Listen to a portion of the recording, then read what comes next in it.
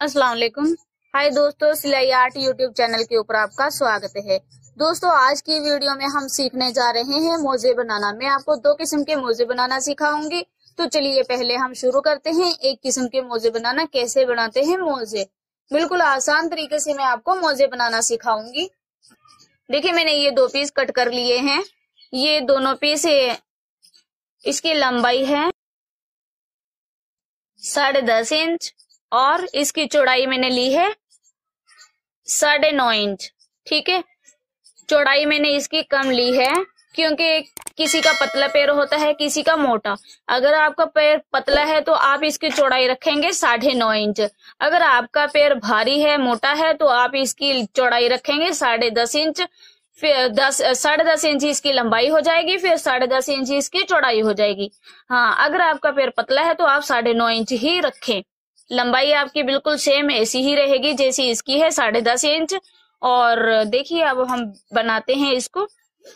एक पीस हटा देते हैं और इसको हम ऐसे फोल्ड करेंगे। इसको हमने फोल्ड कर लिया है और अब हम यहाँ पे एक निशान लगाएँगे। साढ़े पाँच इंच के ऊपर हम निशान लगाएँगे। यहाँ पे हम सिलाई का कपड़ा छोड़ देते हैं और यहाँ पे हमने साढ़े पाँच इंच के ऊपर निशान लगा लेना है, ऐसे।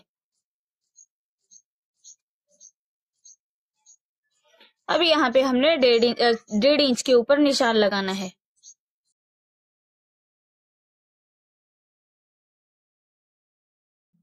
ठीक है? ऐसे। यहाँ पे हम हल्की सी गोलाई देंगे।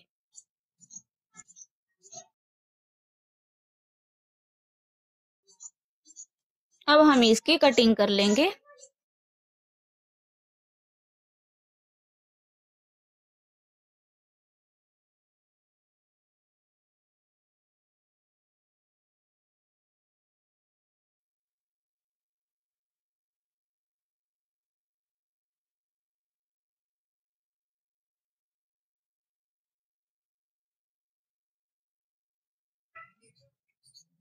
अब इसकी हम कटिंग कर लेंगे।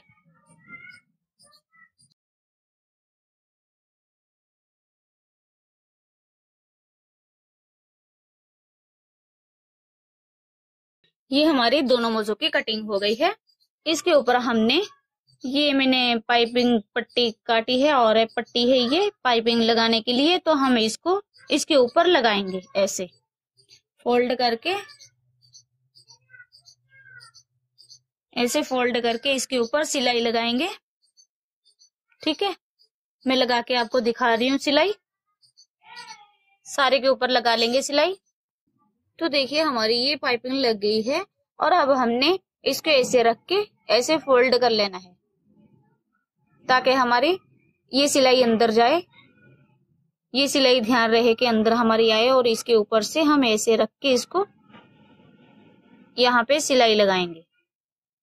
तो हमारे इधर से ऐसे आएगी पाइपिंग निकल के ठीक है? मैं सिलाई लगा के आपको दिखा रही हूँ। देखिए मैंने ये फोल्ड करके सिलाई लगा ली है। अब हमने इसको ऐसे फोल्ड कर लेना है। फोल्ड करके यहाँ पे हमने एक सिलाई लगानी है। देखिए कैसे लगानी है मैं बताती हूँ आपको। ऐसे फोल्ड कर लेना है कपड़े को हमने। फोल्ड करने के बाद यहाँ पे हमने एडी का जो, जो शेप होती है वो हमने हल्की सी शेप देनी है।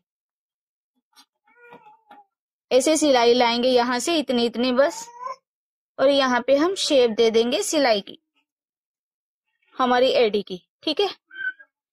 पूरी सिलाई लगा लेंगे हम इतनी।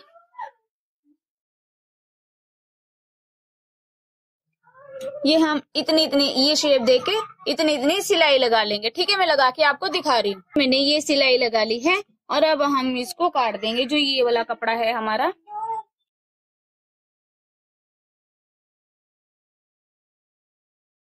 ये हमारी कटिंग हो गई है, और अब हमने इसको ऐसे खोल लेना है कपड़े को। देखिए, हमारा ये एक तरफ़ का मोजा होगा, इधर हम बनाएँगे निशान अंगूठे का। जिधर हमने अंगूठे का निशान बनाना है, उधर हम कपड़े को इसको कम रखेंगे। और इधर उंगलियों की तरफ़ ज़्यादा रहेगा हमारा, ठीक है?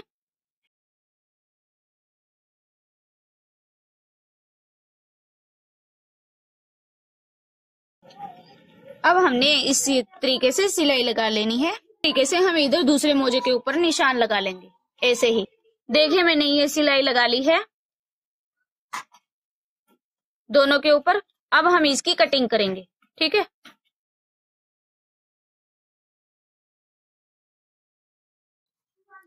ये बीच में से थोड़ा सा कट कर लेंगे, ताकि हमारा अंगूठा अच्छे से अंदर चला जाए, ठीक है? इसी तरीके से हम इसकी कटिंग कर लेंगे। देखिए, ये भी हमारी कटिंग हो गया है, और देखिए।